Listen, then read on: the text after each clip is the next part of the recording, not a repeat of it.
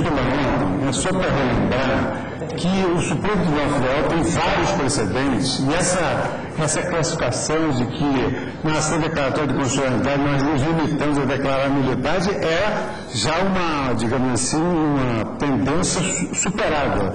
Como também já é superada essa questão de se imaginar que a Suprema Corte não exerça e nem possa exercer o papel de legislador positivo no caso das sentenças aditivas essa classificação moderna hoje da eficácia das legislações no controle de constitucionalidade modificou-se completamente.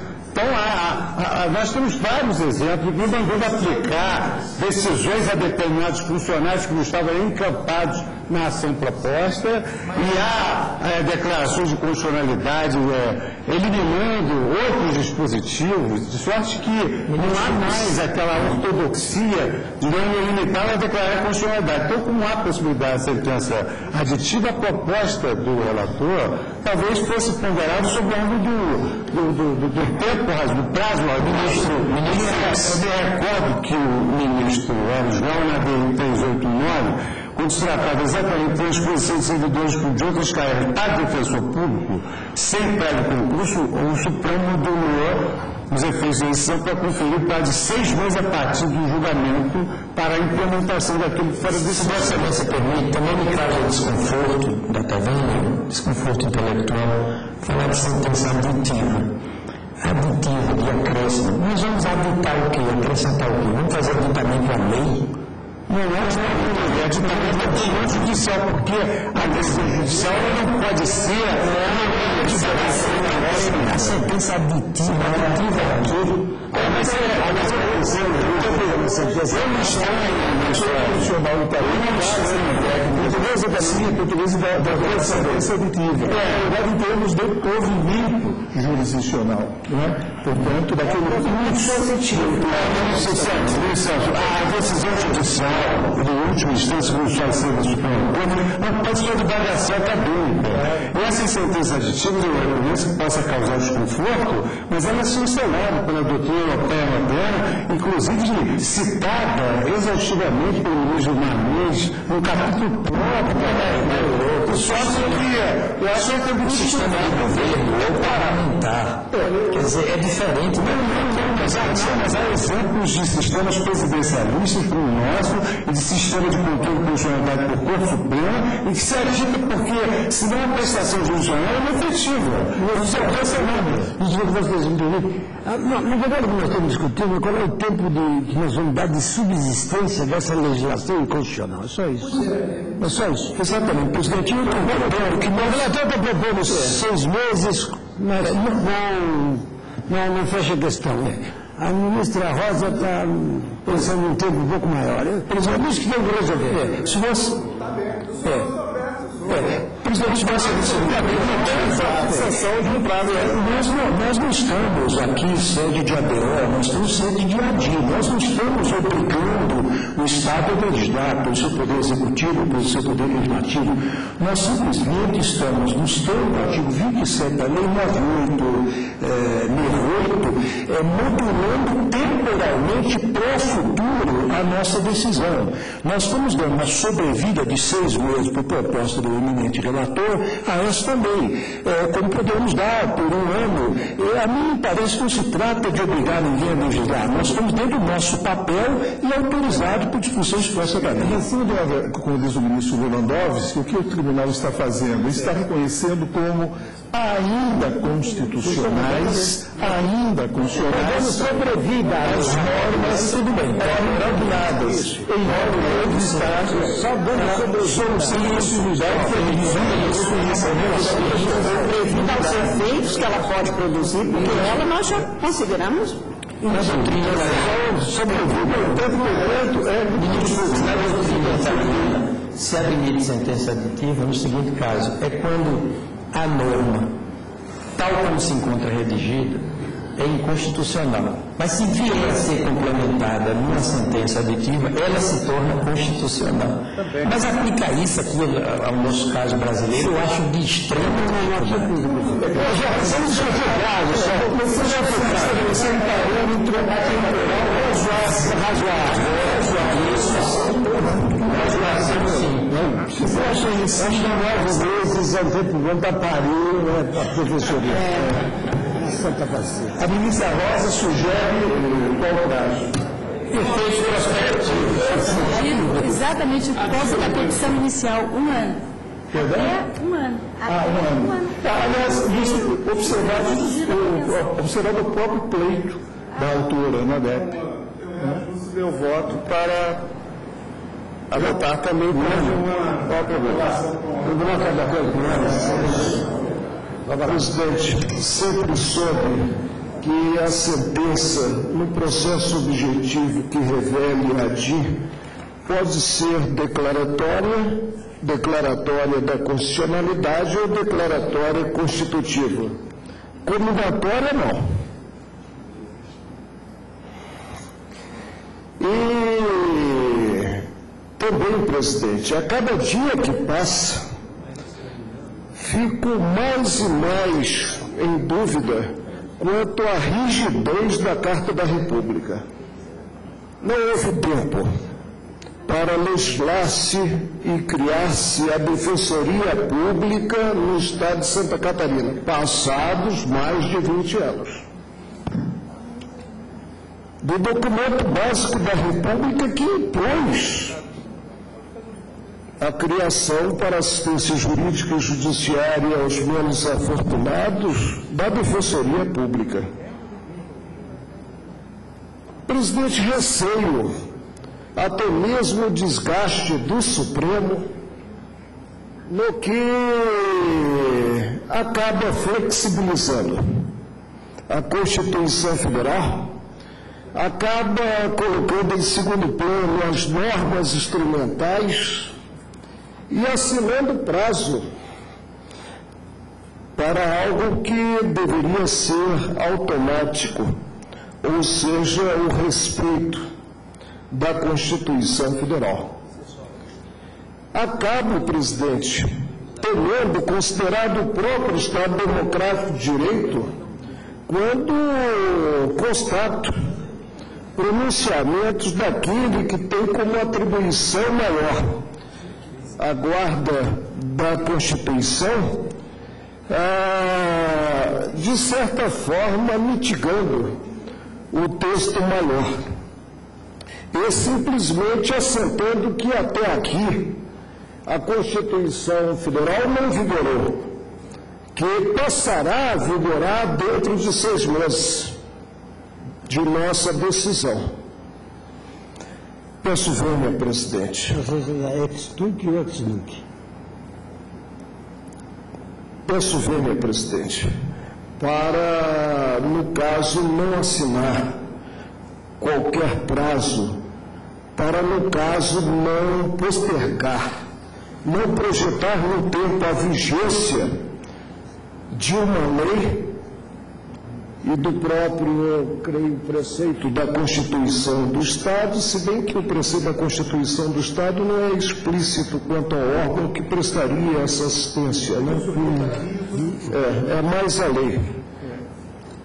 Peço venha para simplesmente assentar que o diploma é inconstitucional. E há situações que,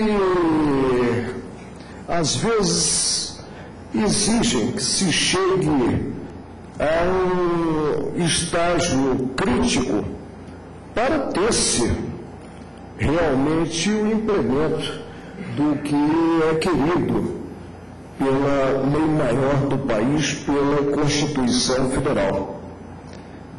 O que ocorrerá né, e, infelizmente, eu tenho dito isso, nós não precisamos de mais leis, de mais emendas constitucionais do Brasil, nós precisamos de homens, principalmente homens públicos, que observem as existentes. O que ocorrerá ante esse estado de coisas vivenciados?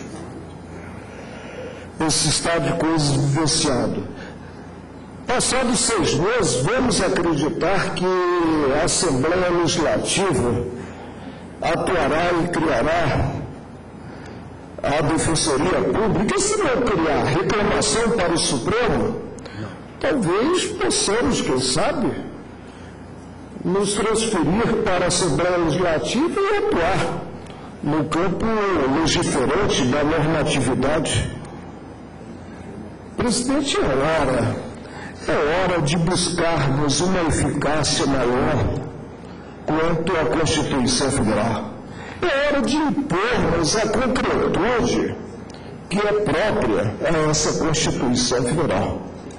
Eu vejo como se possa, de certa forma, tergiversar e dizer assim, olha, realmente em 1988 se impôs a criação das defensorias públicas. Mas como o Estado de Santa Catarina, que é um Estado, inclusive, muito politizado, até aqui não criou essa defensoria pública, né? Ah, ele poderá assim permanecer por mais seis meses, né? e aí se adentrar, quem sabe, no círculo vicioso, não vindo criar essa mesma defensoria pública. Por isso eu peço ver, presidente, para simplesmente por declarar inconstitucional e com eficácia. Sim, desde o surgimento dessa lei que é pouco esdrúxula, tendo em consideração a Constituição Federal, que é uma lei complementar, né? 155 do Estado de Santa Catarina. É como voto. Gostaria de fazer algumas observações. Não, só um minutinho. Pois não. O moderador está declarando inconstitucional também o artigo 104. Porque o artigo 104 atribui a dois outros órgãos Eu estou a declarando Constituição. A inconstitucionalidade de todos os dispositivos impugnados. Ah, e eu faço também em relação ao artigo 104, eu estou tentando buscar aqui a- uma força incrível. Porque aqui é a força da Constituição. Abrangendo, abrangendo também o artigo 104 estabelecendo também o artigo 104 da Constituição. Porque se não o fizermos. Porque se não fizermos, olha a- a- o teor do dispositivo. O artigo 104. A defensoria pública será exercida pela defensoria da ativa e assistência judiciária. Nós estamos autorizando a que se crie Exatamente. de novo a mesma situação que foi impugnada aqui. Senhor presidente, eu quero fazer breves considerações, porque há duas semanas atrás eu não pude participar do julgamento das ações diretas envolvendo discussão em torno desse mesmo tema, em virtude de problema pessoal, uma cirurgia que a minha filha sofreu na cabeça e eu realmente não pude estar presente. Mas, senhor presidente, eu, antes de mais nada, louvo o magnífico voto proferido pelo eminente ministro relator. Entendo que Sua Excelência é, bem é, destacou os pontos fundamentais da controvérsia constitucional que se instaurou no âmbito deste é, processo, fazendo o exame quer sob a perspectiva do artigo 5º, inciso 74 da Constituição, que era à luz do que prescreve o artigo 134 da Lei Fundamental da República.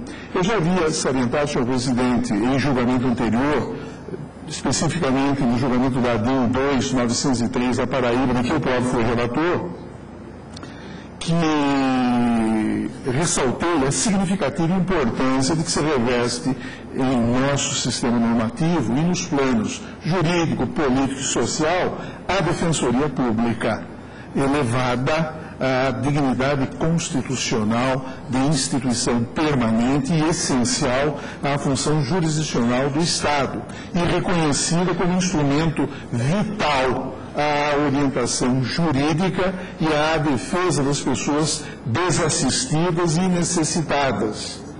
Por isso mesmo, é, é sempre importante relembrar, senhor presidente, e esta Corte tem sido fiel a, a- esse mandamento constitucional, mas é sempre imperioso destacar e relembrar a essencialidade da Defensoria Pública como instrumento de concretização dos direitos e das liberdades e que são titulares também pessoas carentes, pessoas desamparadas, pessoas desassistidas. É por isso que a própria Defensoria Pública foi qualificada pela Constituição da República como instituição essencial ao desempenho da atividade jurisdicional do Estado. E não se pode perder de perspectiva que a frustração, frustração injusta do acesso ao aparelho judiciário do Estado, motivada por omissão do poder público, que sem razão deixa de adimplir, de executar, de cumprir o dever, de conferir expressão concreta à norma constitucional que assegura aos necessitados o direito à orientação jurídica e à assistência judiciária, culmina por gerar, sabemos todos, situação socialmente intolerável e juridicamente inaceitável, com graves, graves encargos que passam a ser compartilhados por outras instituições, pelo Ministério Público quando atua na assistência uh, às pessoas pobres. Eu mesmo fui representante do Ministério Público durante 20 anos no Estado de São Paulo e diuturnamente dava assistência às pessoas necessitadas que não têm a quem recorrer. Pois bem, essa é uma função da Defensoria Pública hoje, especialmente depois do que estabeleceu a nossa lei fundamental. No entanto, se o Estado de Santa Catarina se mantém inerte e nada faz, é, isso acaba sobrecarregando outras instituições, como o Ministério Público. O próprio Ministério Público acaba tendo que atuar na forma do artigo 68 do Código de Processo Penal rigor, ao contrário do que aqui foi sustentado pelo ilustre procurador do Estado Santa Catarina, no julgamento a que Sua Excelência se referiu, eu não afirmei que o artigo 68 do CPP foi recebido. Eu apenas mencionei na linha de uma diretriz jurisprudencial que se estabelecera no julgamento do RS 135, 328 de São Paulo, de que enquanto o Estado de São Paulo não instituísse e organizasse a sua defensoria pública, tal como previsto na Constituição, deveria subsistir íntegra na condição de norma ainda constitucional, norma, situação que configura o quê? Um transitório estágio intermediário. Nós sabemos, é, entre o estado de plena constitucionalidade e o estado de absoluta inconstitucionalidade.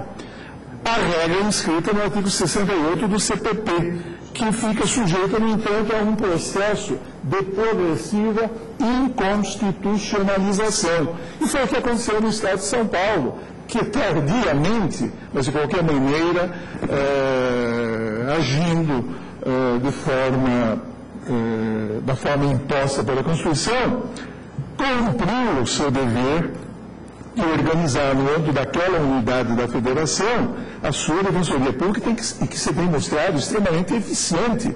Eu vejo a partir da prática processual desta, Suprema Corte, uma Defensoria Pública do Estado de São Paulo, vindo eh, na defesa de direitos e da liberdade de pessoas completamente desamparadas, totalmente desassistidas. Portanto, eh, eu, quando discuti a questão do artigo 68 do CPP, entendi que o Ministério Público continuava, sim, a dispor dessa legitimidade até que sobreviesse o que aconteceu algum tempo depois, alguns anos depois, a organização definitiva da Defensoria Pública Paulista no plano local. E, e, e, e a esse respeito, nós temos diversos outros precedentes do Supremo Tribunal Federal, né, é, dando esse caráter residual essa força jurídica residual ao artigo 68 do CPP. Pois bem, aí reside outro ônus que se impõe também ao Ministério Público ante a inércia do Estado de Santa Catarina,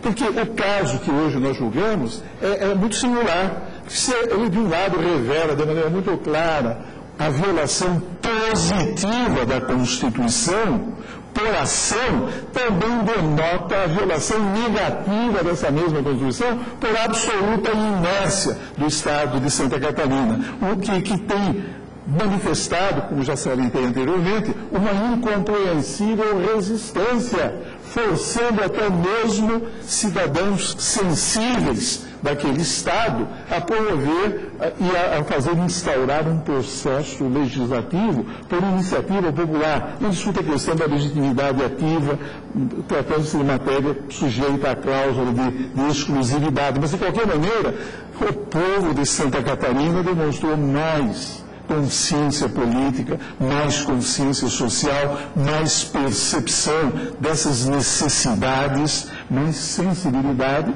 do que as próprias autoridades constituídas daquela importante unidade da federação, importante sob muitos aspectos, mas lamentavelmente falhou e falhou de modo grave neste caso. E, e, e, e senhor presidente, ah, salientava, uh, e fiz isso aí em, em decisões anteriores, que lamentavelmente o povo brasileiro continua ainda não tendo acesso pleno ao sistema de administração da justiça, não obstante a experiência altamente positiva dos juizados especiais cuja implantação efetivamente tem aproximado o cidadão comum do aparelho judiciário do Estado.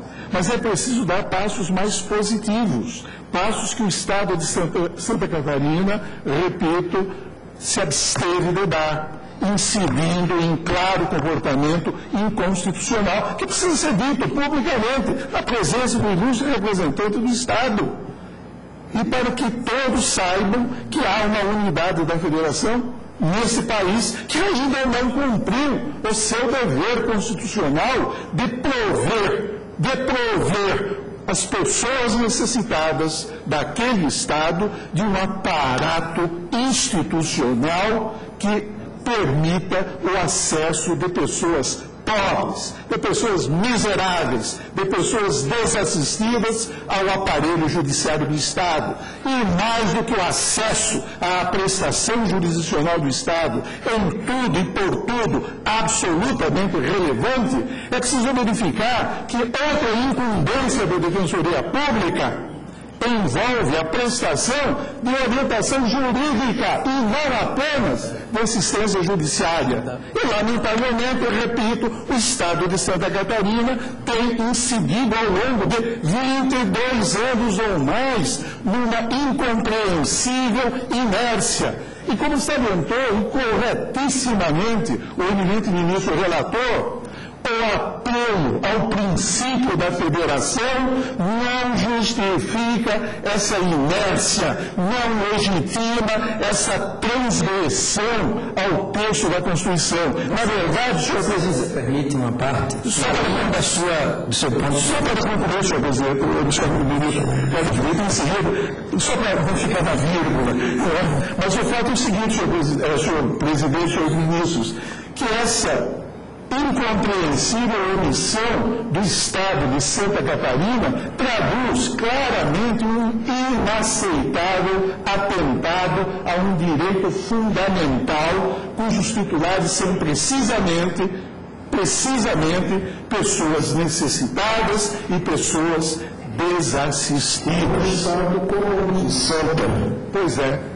Bom, porque... Não, eu não concluía isso, senhor presidente. Eu vejo o eminente procurador do Estado que é apartilhado, pois é, eu tenho todo o prazer em eu também quero corroborar o ponto de vista de Vossa Excelência para o interesse.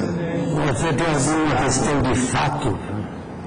Fui citado e gostaria, no mínimo, de ter direito ao contraditório, porque Perdão, mas você a acusação que foi citada eu considero grave. Eu lamento muito. O Estado deve tomar outras providências de processo. Não há acusação senhor presidente, apenas a constatação. Eu tenho meu voto aqui, o meu voto. E eu não afirmei aquilo que se disse, o que se atribuiu a mim da tribuna. Ao contrário, eu não afirmei que era plenamente constitucional. Ao contrário, talvez não tenha passado, não tenha é, tido o último procurador do Estado a percepção de que há na doutrina desta corte há muitos anos essa clara distinção que eu inicio fazendo já desde logo no meu voto. Há situações é, como esta que, que permitem definir e divulgar um estado de plena constitucionalidade em relação a um estado de absoluta inconstitucionalidade. E aí que surge a norma constitucional, ainda, a norma ainda constitucional. Aí que surge a chamada situação constitucional imperfeita. Todos os autores sabem disso, todos os autores conhecem isso. E, aliás, isso está claramente exposto no voto. Mas eu não afirmei que o artigo 68 do Código de Processo Penal, que confere ao Ministério Público qualidade para agir nas ações civis ex delicto em favor das pessoas miseráveis, das pessoas desassistidas, das pessoas desamparadas no estado de Santa Catarina, não afirmei que o artigo 68 foi recebido pela Constituição. Não pode ter sido recebido, mas foi aquele julgamento proferido em face de uma peculiaridade existente, lamentavelmente, no meu estado, no estado de São Paulo, que até aquele momento ainda também, tal como ainda continua e persiste na sua situação de absoluta inconstitucionalidade a fazer o Estado de Santa Catarina, não tinha ainda, não tinha ainda estruturado no plano orgânico a Defensoria Pública Local. Isto há, uma distinção muito clara, talvez sutil demais, mas o fato é que isso faz parte da doutrina desta corte e da jurisprudência desta corte estabelecida no primeiro momento, repito, no julgamento do LE 135 328 São Paulo, que foi relator o ministro eh, Marco Aurélio. Mas, senhor presidente, eu só queria eh, eh, concluir, e o meu voto é longo, e eu farei com que dele conste o registro nas notas desse julgamento, mas é preciso verificar, senhor presidente, que o comportamento inaceitável do Estado de Santa Catarina, comportamento inaceitável porque transgressou da Constituição, e essa é a função desta Corte, no exercício da jurisdição constitucional, apontar aqueles que transgridem consciente ou inconscientemente a Constituição,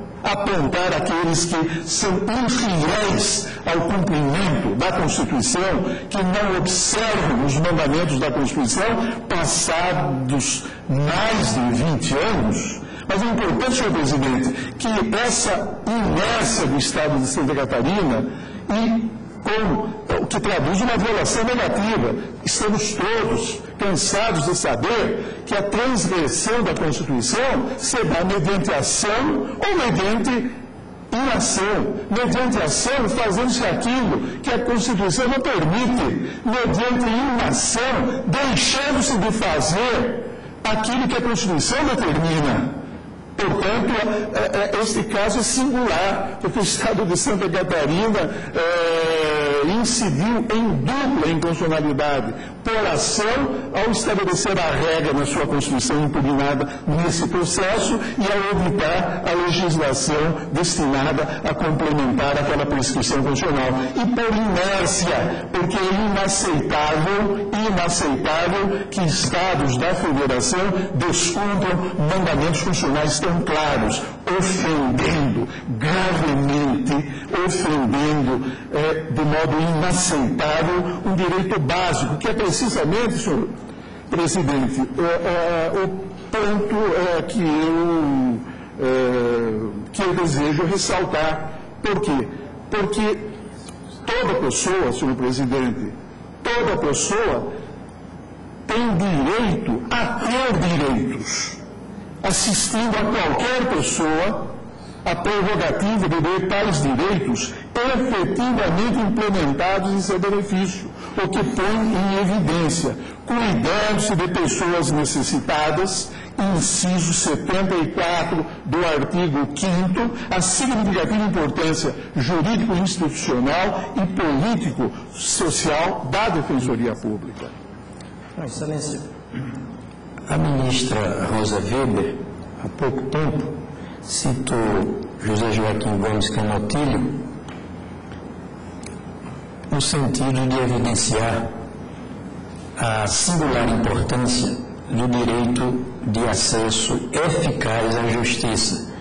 Uma opinião até partilhada, ministra Rosa, com José Afonso da Silva, que assim como Gomes Camotilho, diz o mestre da Universidade de São Paulo, hoje aposentado, diz que o acesso à justiça é a condição de exercício de todos os demais direitos, tal a importância do que se tem chamado de universalização da justiça, democratização do, é, do acesso à justiça, acesso eficaz à justiça e outras designações para o inciso 35 do artigo 5 da Constituição, cuja redação é conhecida. Nem a lei, nem a lei pode excluir da apreciação do Poder Judiciário, mas lesão ou ameaça a direito.